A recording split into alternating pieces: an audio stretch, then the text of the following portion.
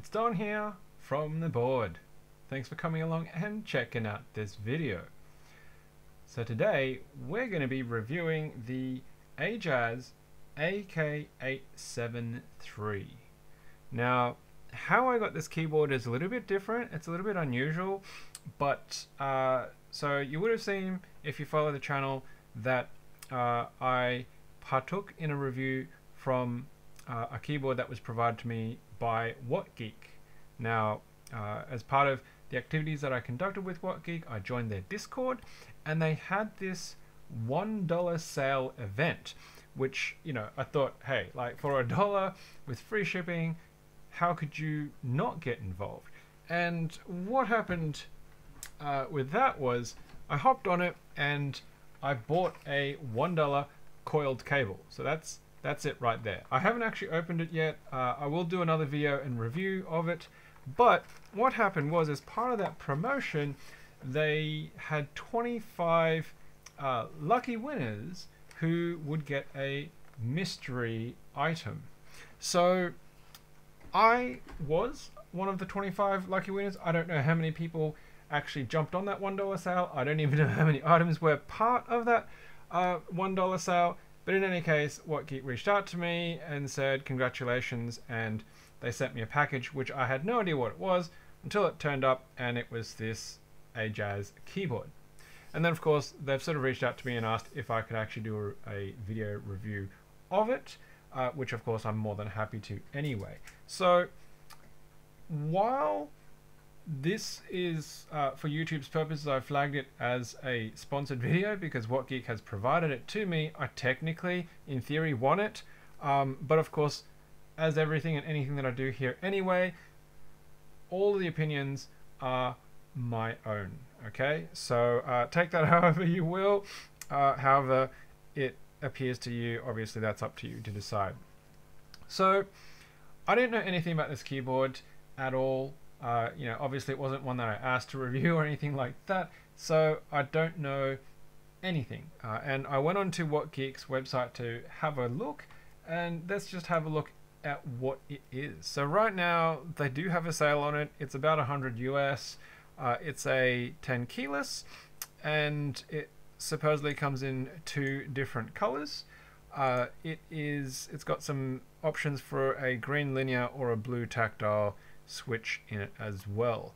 Uh, it's fairly standard. There's nothing really too outstanding in terms of its look and its design. Uh, you know, the indicator lights, interestingly, are actually down here instead of sort of, uh, you know, on the caps lock key itself or indicator lights above, which is, it's an interesting choice. Uh, there's a stylized shot there, and they've got this sort of uh, exploded parts of it. So it looks like it does have some sandwich foam already made built into it. Uh, some bottom foam for that really sort of dampening sound that's very popular at the moment. Now it does say that it's a magnetic attraction cover. So I'm really keen to see what does that mean? Uh, does that mean you can just take it off with no screws on this? So that would be really interesting if it is a, a screwless design on the case. Uh, PBT die sub keycaps, pretty standard now on a lot of OEM keyboards. Uh, nothing else really too much in that particular picture. So the linear switch, 45 grams, polycarbonate, nothing too crash hot. Uh, pom stem, polycarbonate, shrapnel. I don't really know what they mean by shrapnel there. Uh, I think that's like maybe the the switch contacts shrapnel. Shrapnel to me is like metal, is like parts of things that have gone bang and are flying out at rapid speed to hurt people. Uh, yeah, weird terminology there. Maybe, maybe, Ajazz, you might need to have a look at that. And then there's the tactile. It's a 50 gram tactile, so it's actually bit on the lighter side compared to say like a 65 or even a 72 gram type of tactile. Uh, so it looks like it's hot swap. You should be able to pull it out. It's got RGBs on it and much, much the same with just some other pictures. Uh, if we come down and have a quick skim through, TKL has foam. Uh, it's got wired Bluetooth MDA profile, so that's that's really cool.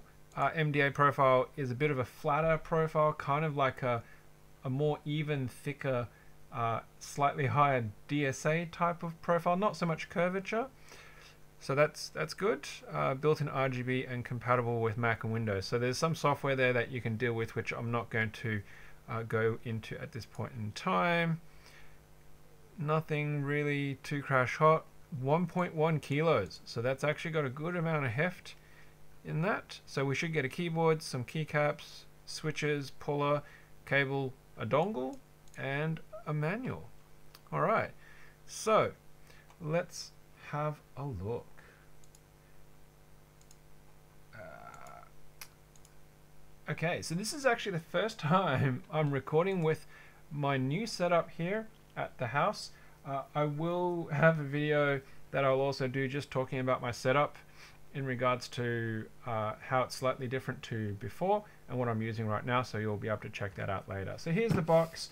Um, I haven't actually opened it or done anything with it. I find it's really interesting that it's actually got this NAR codex. I don't know what that means. Uh, like, there's no mention of that here about a, a NAR codex.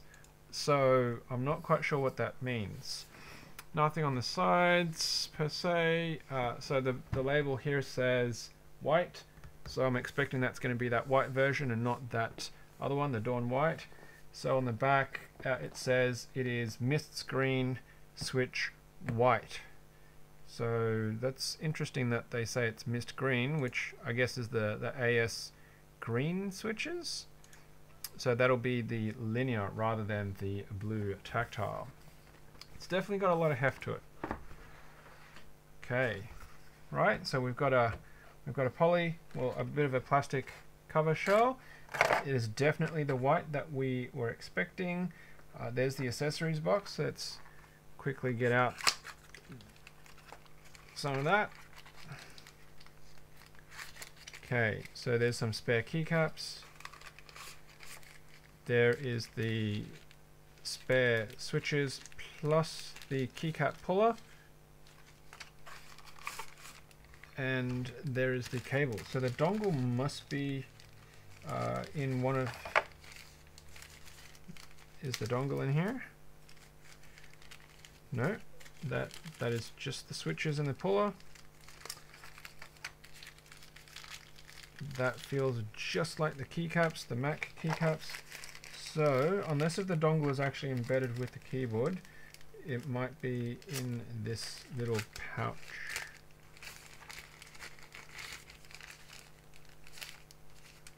Okay, no dongle here, but there's the USB-C cable.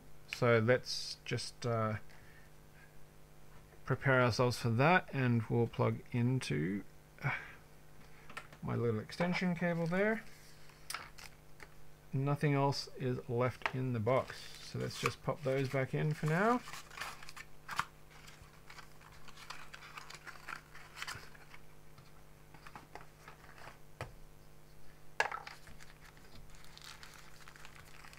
Okay, so we've got the instruction manual which is stuck to the back. And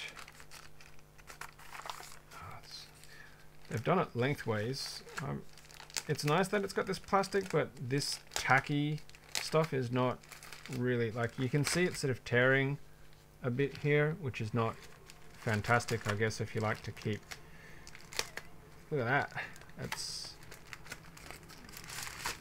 maybe we'll just do that instead. And oh, well, there you go. So that's cool that the uh, the actual dongle has a home for it. I feel this is not as elegant as the uh, the corgi one, where it actually sat into the back, only because having that part of the USB A open uh, is going to attract dust and other things. Having the the USB A portion tucked away and protected inside the case is a far better solution in my opinion. So let's just put that there and move this aside for now. Okay, so a quick skim. Uh, so there's some English, switch indicator, uh, C is uppercase, lowercase, battery indicator, power switch can be charged. There's connection details, which I'm not going to really bother with. So it's function plus pipe key. We'll cycle the different kinds. Uh, and then, of course, there's a whole bunch of different backlight type of things as well. So we won't do too much of that testing. And here it is. It is, it's actually really clean. Uh, that, the font actually, I quite like that font. It's quite a clean font. It's not too hefty in any sense. Uh, it's really thin, but it's really crisp. I don't mind it actually. It's got a bit of that sort of retro futuristic kind of feel about it. Uh, so yeah, just trying to get the focus. It's not bad. It's not bad. Okay, in terms of the flex test, uh, it's got a little bit of flex and already I can feel it it is magnetic. Wow. Okay. So if you I know why they've done it. So they've gone for the the top case option if you want that look or you take it off and you get the floating style. If, if you like to have floating keycaps uh, because you want the RGB light to shine through, then taking this top piece off allows you to do that. And there's just some magnets that are actually embedded here in the four corners of this case. Yeah, it's just four magnets. Um, that's actually really clever. I, I really like that. Yeah, I really like that. So it's just a bit of, you know, cheap, simple plastic, but if you want to, you know, reduce the light effect, you can snap that on, and if you want to go for your floating keycaps, like, it comes off with ease. And of course, obviously it means that this plate, though, is going to be uh, steel to, to allow that for the magnets. So that's where a lot of that weight comes into play. Now we do have uh, the, the flip up feet, so there's only one set of adjustments available there uh, but it means there must be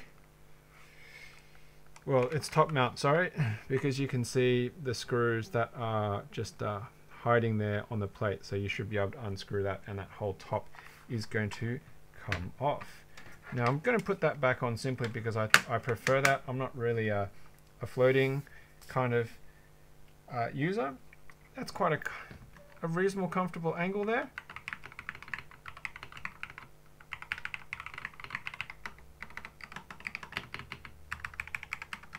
Now, I do have a different microphone setup that we'll switch to using uh, soon to do the actual sound test, but in terms of the feel of these linears, they're pretty smooth. I would suspect that they're going to be factory lubed. Uh, no real issue with them at all reasonable weight. I'd probably prefer a little bit heavier personally, but you know, 45 grams is midline light, right? For for a lot of what people would be using, probably in that 60 gram type of range is quite popular as well. Okay, now because I've moved a house and uh, a lot of stuff is still in containers and stuff, uh, I actually don't know where my switch, not my switch, um, my keycap puller is. And I kind of forgot that, so I'm going to have to use theirs, the one that they give you. Uh, because I actually don't know where mine is right now. So, here we go. So I've given you one of these dual switch puller and keycap puller things. Uh, so let's just take off keycap in the middle. There we go. And you can sort of see that uh, really flat profile with a little bit of curve on it uh, for the MDA and it's actually got a good amount of thickness to it. Like I would say that that thickness is uh, it's pretty close to a one and a half mil thickness. Now, I don't have the calipers. Uh, actually, I see it on my wife's desk.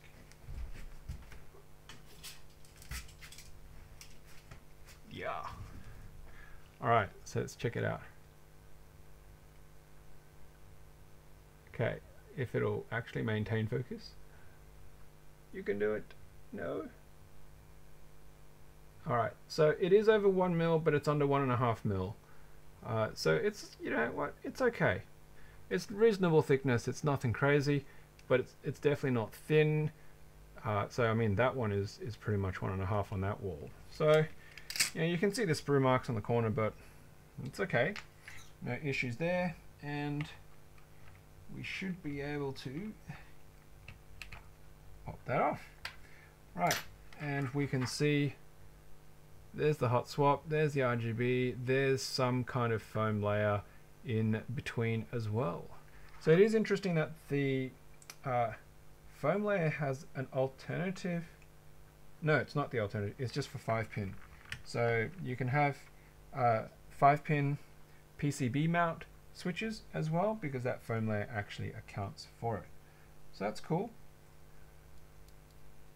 Uh, I don't see any uh, signs of shrapnel, so have to forgive me on that one. Uh, let's, let's carefully put that back in and snap. Alright, now let's see if I can get the, the enter key up so we can have a look at these stabilizers. Okay, so they're just pretty standard OEM type of uh, plate mount inserted stabilizers. They definitely are factory lube. There is a large amount uh, of white stuff that is on the top left. You can kind of just see it. There's that lumpy goopy stuff on the left stabilizer wire. Yeah, so that's, that's factory lubed And I would expect that the spacebar is going to be similar. What I will do, actually, if I can, is I'm going to check the stabilizer. Ah. No, okay. So there is there is foam pre-filled into the gap where the stabilizer wire is. Uh, and that's very common in a lot of these boards now. But I was curious to see if they had actually put anything on the inside of the spacebar like a foam or an insert, which they haven't. Uh, a lot of the community is doing this because it reduces the hollow sound of the spacebar.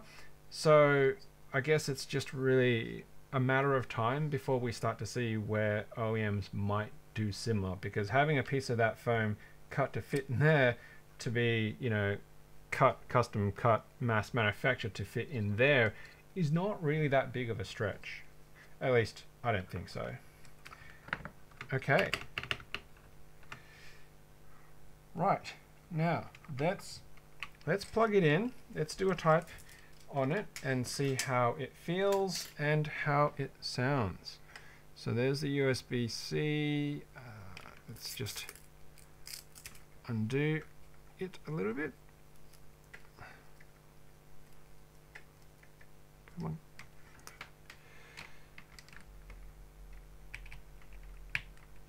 Okay. So I've got a bit of a green light that's pulsing there, which means it's probably charging. Uh, and then if I change it to the other side, maybe let's just have a quick reference to the manual, hey? All right.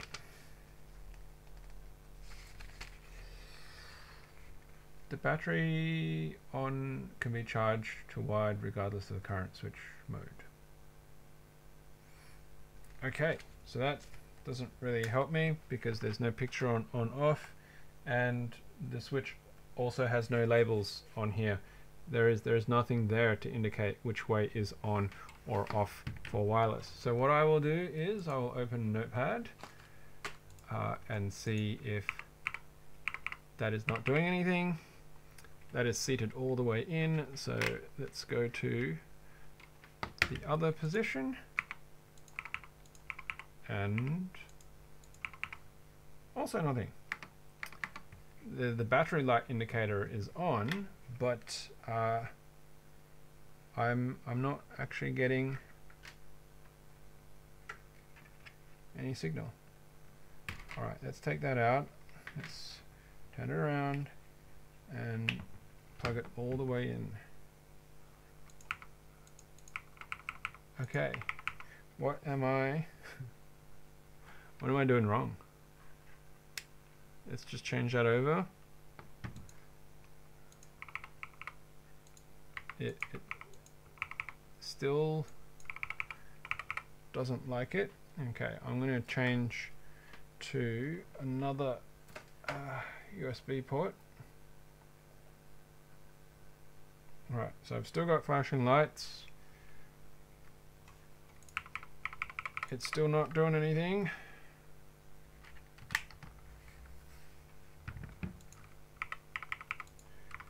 Okay, so at this point in time, I'm starting to get a little bit frustrated with this because it shouldn't be that hard. I just, it, I mean, it's all the way in. Um, I am going to get up and try and plug it directly into the back of my computer. I'm Gonna have to bump my microphone a bit. Sorry about that.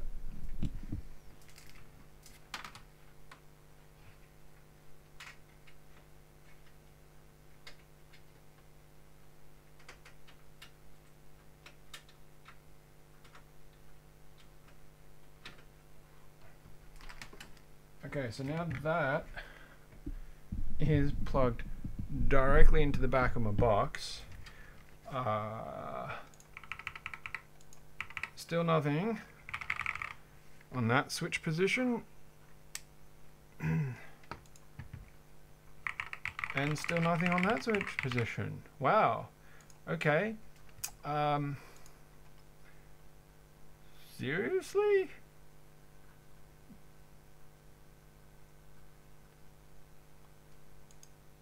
What is what is going on? Alright. Maybe I have no choice but to use the dongle. I can tell you that's uh, it's very disappointing if if I have to use the dongle. Okay, so my computer's whoa right. So the dongle is in, um, and now it's registering with the dongle. So if I do that, that turns it off. So we know that now it is, it should be in wired mode.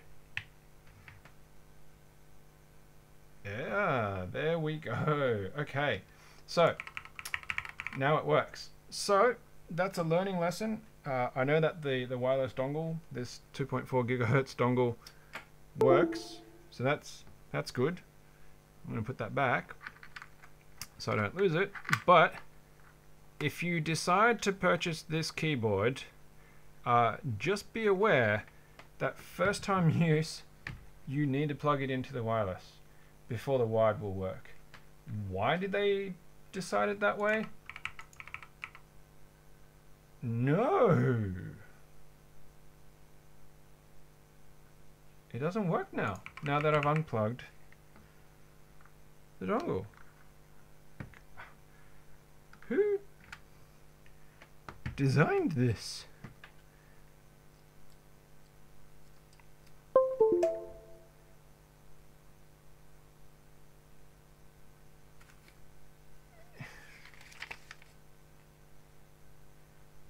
USB wired plus 2.4 wireless plus 5.0 Bluetooth.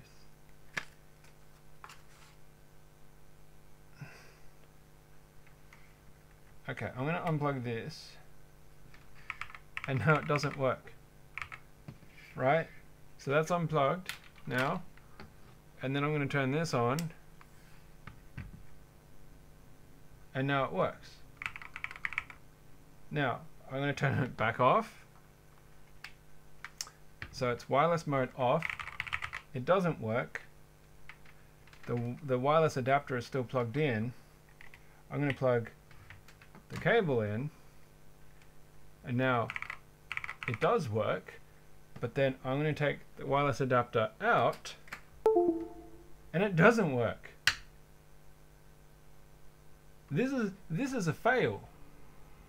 Like Ajazz, if I need to install your software to make this keyboard work,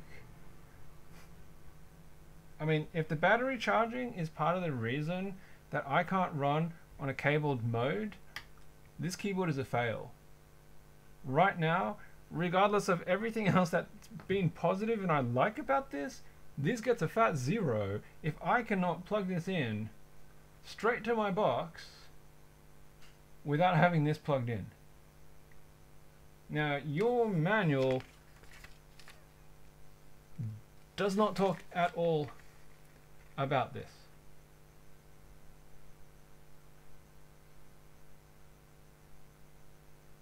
Said wide mode connection function tab. Okay, so I need to actually switch it. So it tells you here that wide mode is actually the third mode. Like you have to manually switch it. Function tab switches to wide mode. Wow. Almost failed you on this. Function tab. Right. Now, yes, it's on me that I didn't read the manual, but I shouldn't have to. By default, your product should be functional, plugged in by wire without a dongle. Anyway, still cranky about that. Not very happy. Design-wise, that's a flaw. Points lost. Alright. Now that we're functional, everything still works. Alright, so we've got the light mode. I'm going to go function pipe. Uh, let's just turn the light off. Let's turn the room off. Okay, it's not super bright, uh, at least with the top on it. Of course, if we take the top off it, it's probably going to uh, show a bit more. Uh, yeah, it's yeah, it's it's okay. It's not super duper bright. It's it's a reasonable amount of color there. But let's just uh, pop that back on and breathing mode, pulsing modes, probably yeah some kind of you know uh, follow the key mode, explosion modes, row, raindrops, uh, just constant other chaos type of stuff, uh, cascades, alright, wave mode, snake type of spiral things, uh, waterfall type of mode. Alright, you kind of get the gist. There's a lot of RGB modes that uh, will make you enjoy the fact that you have vision in color, if that's your thing. I might sound a little bit terse at the moment, but uh, that's because I'm still really cranky about the wide mode. It shouldn't be that hard. Like, it's a keyboard. Plug it in. Make it work. I shouldn't be having to look through and look past how to turn on Wi-Fi, wireless, and Bluetooth mode to get to wide mode. That's just a really weird choice. Okay, so um, let's go to monkey type um, and let's just do a quick 30 second type of sound test. So I've got, here's a microphone I prepared earlier. Uh, so what I'm going to do is, oh, my microphone is falling down. Why is my microphone falling down? Okay, I need to tighten this a bit more. Okay, so what I'm going to do now uh, is I am going to switch over the inputs from the ribbon microphone to the calibration microphone.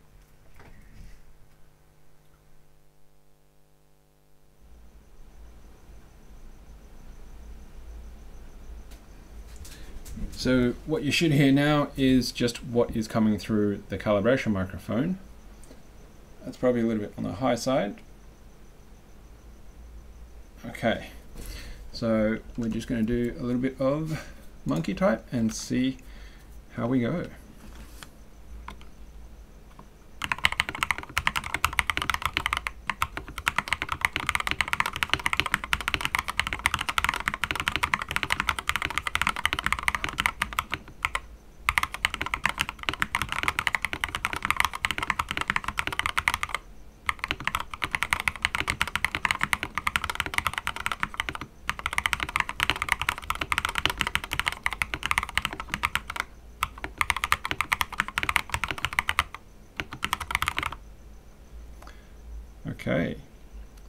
Got that there, let's just do uh, spacebar enters and alike. Back to Notepad.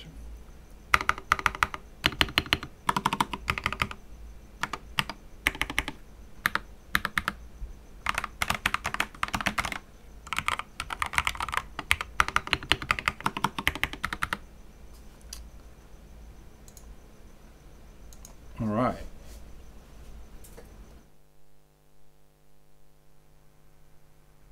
Okay, so we're back to the ribbon microphone now, and let's just move that out of the way for now.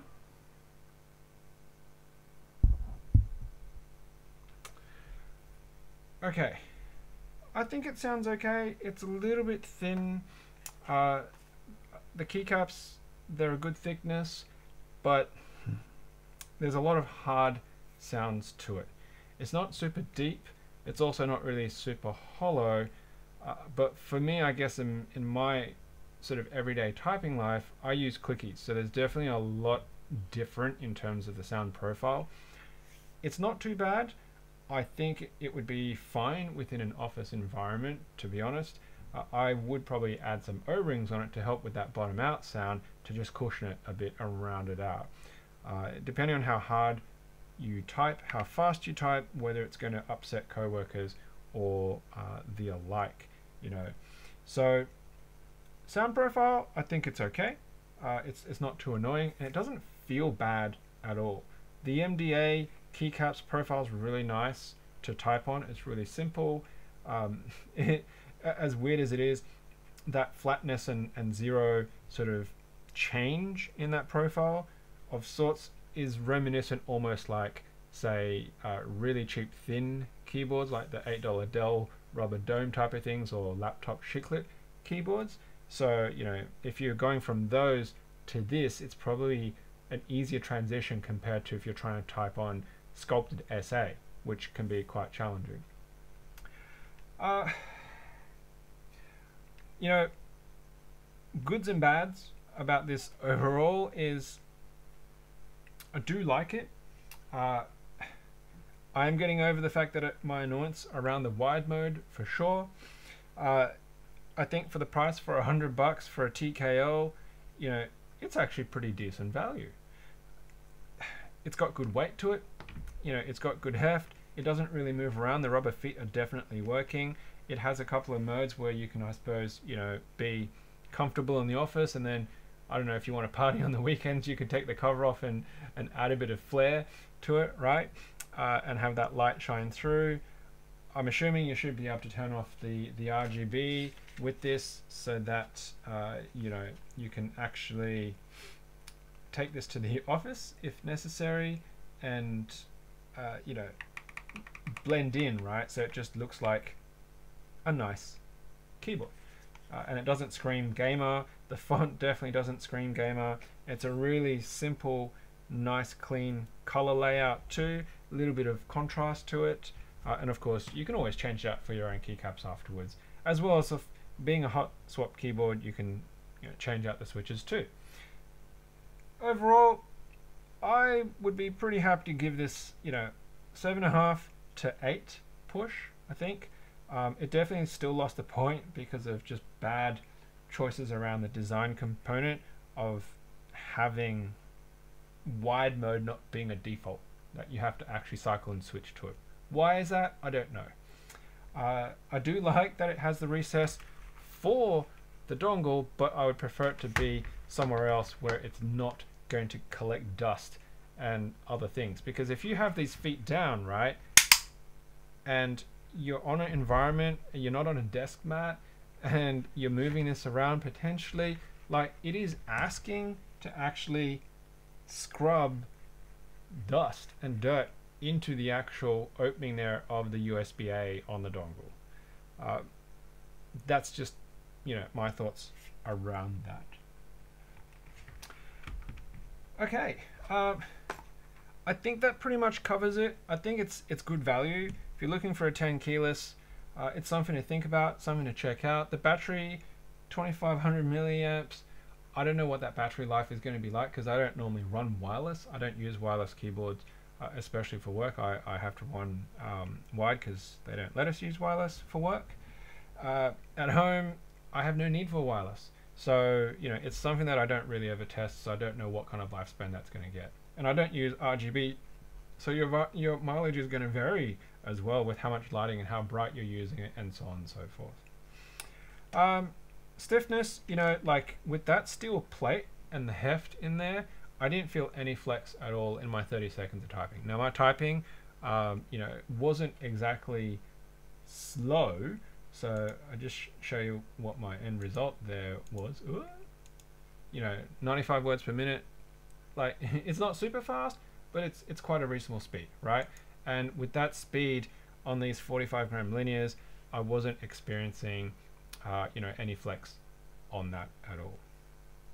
Right, so that's pretty much it. Uh, you can check it out for yourself on mm, uh, WhatGeek's website. I'll put a link in the description below. Now, what Geek also told me at the time when they asked me if I could review this um, after I received it was that uh, my code from previous Don10 is actually uh, a ongoing code, so you can always use it at any point in time is what I'm led to believe. So it doesn't matter if it's for this keyboard, for any accessories or other keyboards, other products on their website. If you want a quick 10% off, I don't know if it stacks with other things, just chuck in Don 10 and, and see what you get, right? Um, yeah. So thanks very much for checking out this keyboard. I do want to say thank you to WhatGeek for sending me this, whether uh, you know being part of the 25 or not, um, and of course running that really cool one dollar sale. So I'll check out that uh, coiled keyboard cable uh, very very shortly. All right. Uh, you know the drill. Subscribe, bell, like, all that kind of stuff. Comment below. Uh, and yeah, take care of yourselves, take care of each other, and of course, until next time, happy clacking.